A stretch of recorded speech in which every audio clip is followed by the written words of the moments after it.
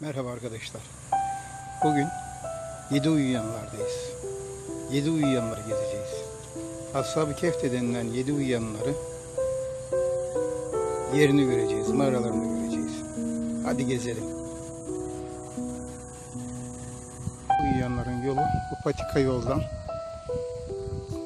gidiyor. Patika yolu devam edeceğiz.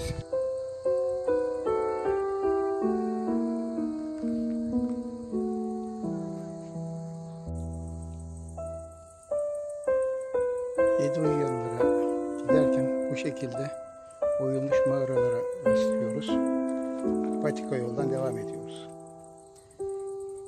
Dilek bağlanmış. Dilek ağacı. Yolun kenarlarında.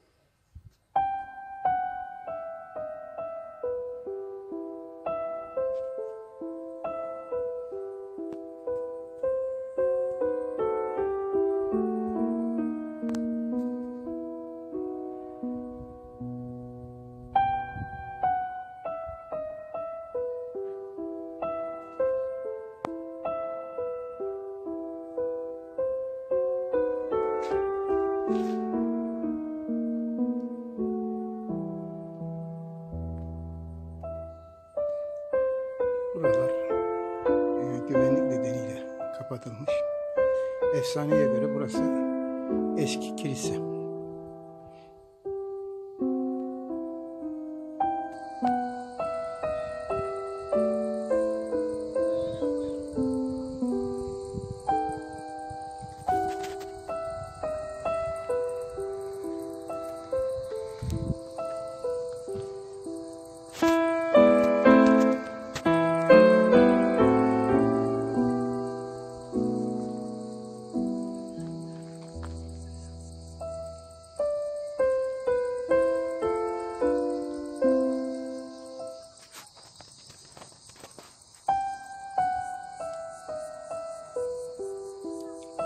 Mezar.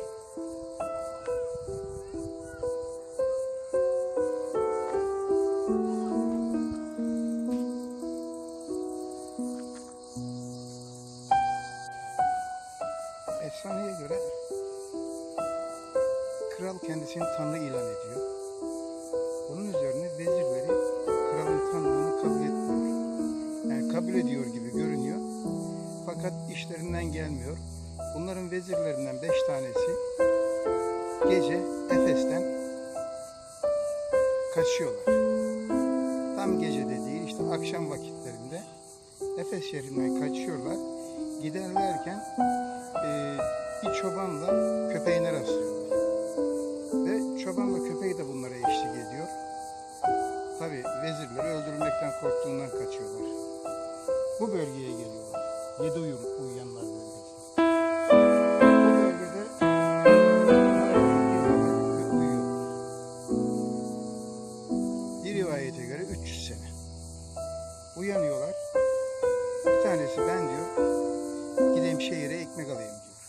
Ve gidiyor. O zamanın parasıyla bir ekmekçiye giriyor. Bir ekmek ver diyor. Parayı uzatıyor. Parayı uzattığında bakıyorlar ki onlar bu adamları kötü görüyorlar ve şikayet ediyorlar. Bunu o zamanın kralına götürüyorlar. Kral dinliyor adamı. Peki diyor sen bizi arkadaşların yanına götürür müsün diyor.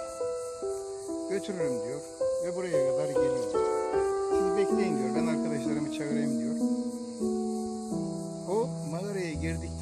çağırmaya gel çağırmaya girdikten sonra bir daha çıkmıyor ve kral gerçeği anlıyor.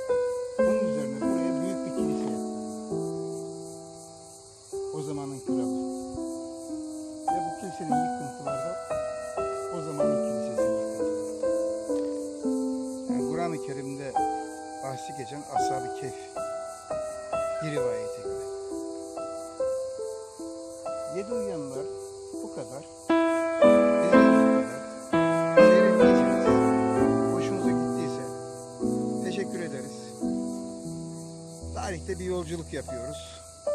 İyi kalın, hoşça kalın, güzel kalın.